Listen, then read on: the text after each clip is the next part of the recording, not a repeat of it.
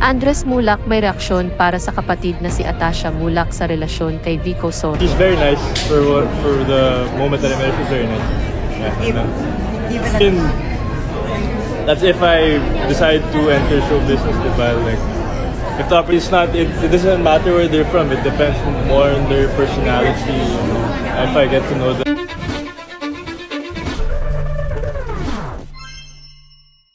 Si Andres Mulak ay mayroong napaka-sweet na mensahe para sa kanyang twin sister na si Atasha Mulak at sa boyfriend nitong si Vico Soto. Sa kabila ng lahat ng mga pangyayari, patuloy na trending ngayon sa mundo ng social media ang napabalitang nabubuong relasyon sa pagitan ni na Vico Soto at Atasha Mulak. Ang kanilang relasyon ay naghahatid ng matinding kilig vibes sa mga netizens, lalo na't maraming nakakaakit sa kanilang tambalan at naniniwalang sobrang bagay na bagay silang dalawa. Sa katunayan, nitong mga nakaraang araw lamang ay nausisa si Andres Mulak, ang kapatid ni Atasha, tungkol sa relasyon ng kanyang kapatid at ni Vico Soto. Hindi naman niya binigo ang mga naghihintay ng kanyang opinyon at nagbigay siya ng isang napakagandang mensahe na nagpapakita kung gaano niya kamahal at kasuportado ang kanyang kapatid.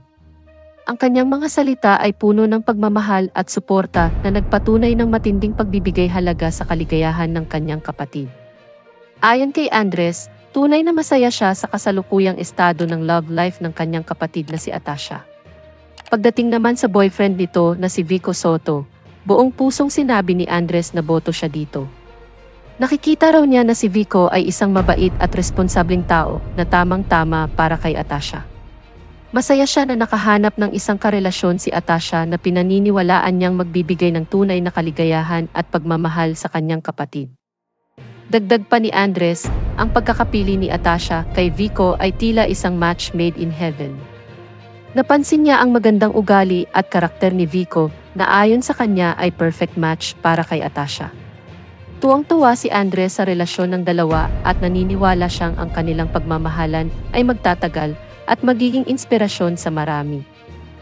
Sa wakas, ang sweet message na ito mula kay Andres Mulak ay nagpapatunay lamang kung gaano kalalim ang kanilang bond bilang magkapatid at kung gaano kalaki ang kanyang suporta sa kaligayahan ni Atasha. Sa bawat salita na binitiwan ni Andres, makikita ang kanyang pagmamahal at suporta para sa kanyang twin sister at ang kasiyahan niya sa bagong kabanata ng love life nito kasama si Vico Soto. Magpapasalamat pa nga umano si Andres na nakatagpo ng isang mabait at matalinong lalaki si Atasha Mulak at hindi isang taga-showbiz. Ayon sa kanya, tiwala siya na magiging masaya ang dalawa sa sinimulan nilang relasyon. Maliban pa dito, hindi siya nababahala sa apelyido ni Vico Soto. Ramdam niya kasi na walang kinalaman ang pagiging Soto ni Vico pagdating sa pagkatao nito. Kasi hindi porket may history ng maraming babae ang ama nito, ay ganoon na din ang anak. Bagay na siyang nakikita dahil nga sana, sabi ng kanyang boyfriend ngayon, ay halatang seryoso ito sa buhay. Ngunit sa kabila nito, may konti namang pabirong pagbabanta si Andres Mulak kay Vico Soto, na kapag sinaktan nito ang prinsesa niyang si Atasha, ay kapag daw niloko ito ay siya umano magkakalaban ng nasabing anak ng TV host. Kasi mas nasasaktan daw siya, nasasaktan ang kapatid. Ngunit kapag niloko lang daw ito ni Vico Soto. Pero kapag sakaling hindi na nag-work out ang relasyon nila, ay syempre, hindi umano ikakagalit ni Andres Mulak ito at wala umanong dahilan para makialam siya sa kung ano man ang sapitin ng relasyon nila. Ang kanilang daw ay basta hindi niloko si Atasha. Dagdag pa dito, pinaniniwalaan ni Andres na malaki ang pagkakaiba ng karakter ni Vico sa kanyang ama. Ayon pa sa kanya, hindi naman dahil sa kilalang pamilya ay magiging katulad na rin ng ama ang anak. Tiwala si Andres na may sariling pag-iisip at prinsipyo si Vico na dapat respetuhin ng lahat. Nais pa niyang ipaalam na hindi siya ang tipo ng ama na maghahabol at magmamatigas kung sakaling hindi magtagumpay ang relasyon ng dalawa. Sa huli, ang mahalaga sa kanya ay ang kaligayahan at kabutihan ni Atasha.